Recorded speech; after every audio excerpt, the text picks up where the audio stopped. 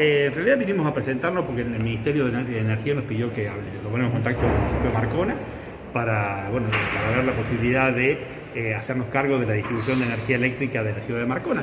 Eh, lo único que venimos a mostrar es mostrar nuestra empresa, qué hacemos, qué somos y, bueno, a plantearle más o menos así una propuesta, una, una, primera propuesta de qué podríamos dar para Marcona en Electroduna haciéndose cargo de la concesión de la distribución.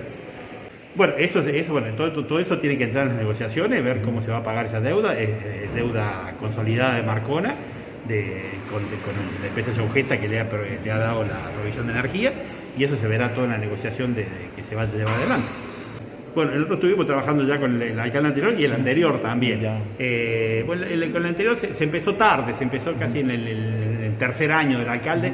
El problema de, las alcaldías son el tiempo. Los cuatro años parecen mucho tiempo, pero pasa muy rápido y muchas veces estos, trámites son largos y lentos y por eso no se pudo llevar adelante. Eh, ahora, bueno, el Ministerio de Energía está muy interesado en que se solucione.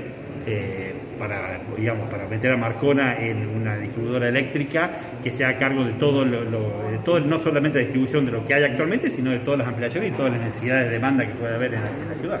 El principal problema que tenemos acá es la forma de tarifa. Nosotros la tarifa no la fijamos, la fijan los SINARMIN. Eh, cada cuatro años SINARMIN hace el estudio del VAT y nos determina el pliego tarifario correspondiente a darle. Y en función de eso sale el pliego tarifario. lo único que hemos detectado hasta ahora, en función de los costos que hemos visto, es que sería el problema fundamental que tenemos en el IGB. Nosotros tenemos obligación de facturar el IGB, como todos los ciudadanos, con todos los negocios que se hacen a nivel nacional. Y, eh, hoy eh, que ustedes no tienen el IGB cargado, lo da la, municipalidad como un servicio, no le carga el IGB, que para mí es un error porque debería cargarlo igual el IGB, pero bueno, el IGB porque es una venta, la haga la municipalidad o quien lo haga es una venta, y bueno, esa es el mayor, eh, la mayor diferencia que vemos que tenemos. Pero no he podido hacer cálculo todavía para ver cuál es la diferencia exacta. Eh, digamos, comparar un cliente de 100 kilos con 100 kilos no lo hemos podido hacer. Como lo dice en redes sociales, cada uno dice y habla lo que quiere sin tener que, sin tener que decir, eh, comprobar lo que está diciendo. las empresas eléctricas, como siempre, se dan en todos los países del mundo, por lo menos en Sudamérica, la gente se complica cuando tiene que pagar un servicio eléctrico. Eh, nosotros creo que nos han golpeado por temas que no han pasado en, la zona, en la región.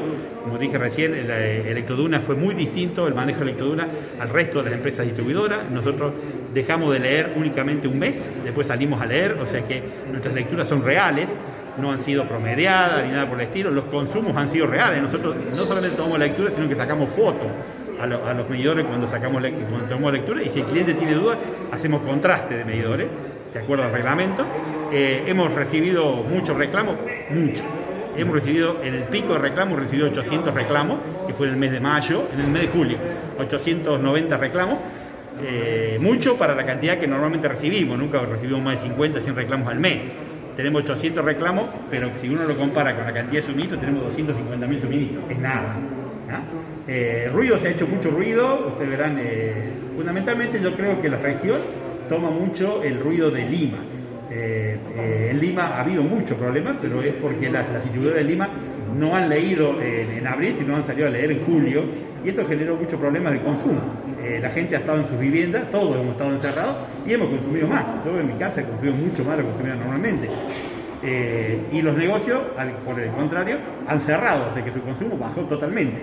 Si uno maneja promedio, eh, a, los residenciales les va a estar facturando de menos y a los comercios a estar facturando más. Cuando llega el momento de normalizar, me encuentro con que a los residenciales les tengo que cobrar mucho más de lo que facturaba antes y a los comerciales les tengo que devolver un montón de, consumo que le he cobrado de más. Y eso generó todo el ruido. Y bueno, eh, eh, el tema de prestigio es un común denominador. Los servicios públicos estamos en la primera línea de fuego y siempre como te digo, hay 250.000 clientes, siempre hay alguien que se queja, alguien que tiene problemas. Nosotros estamos abiertos a solucionar todos los problemas, estamos abiertos a solucionar problemas económicos, problemas sociales. La siempre lo ha hecho, ha financiado y, seguimos ahora.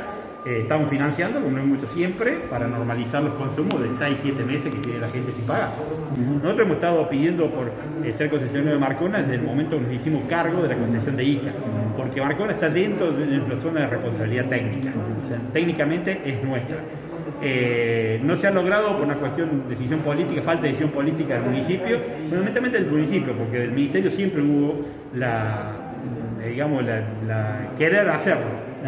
El ministerio, eh, eh, tener a todo el Perú normalizado dentro del sistema interconectado nacional es el objetivo total de, Perú. Y bueno, y por eso nos lleva adelante. El alcalde ahora quiere intentarlo nuevamente, esperamos que lo podamos llevar adelante y, bueno, y vamos a tratar de que, que así sea, ¿no?